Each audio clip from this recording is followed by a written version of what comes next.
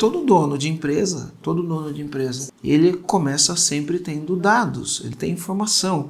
Para ter informação, precisa medir, precisa ter indicadores, indicadores de processo, indicadores de meta, todos os tipos de indicadores e cada negócio tem o teu indicador diferente. Ou você tem que ter lá uma pauta onde você para e fala: deixa eu olhar os números da minha empresa, deixa eu olhar os indicadores, deixa eu ver as tendências. Está aumentando o número de clientes, está diminuindo? Está aumentando o número de reclamação, está diminuindo? O retrabalho e reposição e peças saindo errado, está aumentando, está diminuindo? Porque se você não sabe isso, você está só acelerando, acelerando, você não sabe o que está fazendo, né? É igual o câncer. O câncer ele é sorrateiro. Mas se você olhar os números, você descobre.